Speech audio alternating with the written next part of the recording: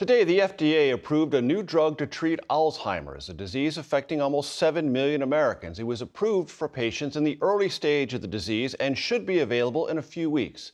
CBS's Dr. Jon LaPook is here. Doctor, this sounds important and encouraging. What can you tell us? Major donanemab is the second drug available for Alzheimer's patients with early symptoms, early symptoms. It will be sold under the brand name Kisunla and it works by using an antibody to remove amyloid plaques that damage the brain.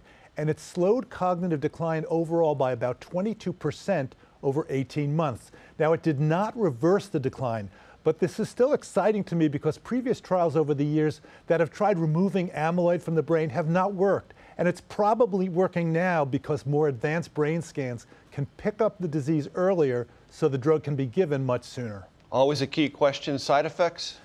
Yeah, the most dangerous, the most serious side effects included temporary swelling and bleeding in the brain, which did cause three deaths, but that was less than 1% of patients. Any idea how much it will cost, Dr. LaPook? Well, it's going to be covered by Medicare Part B, but for other patients, it's going to depend on their insurance and the length of treatment.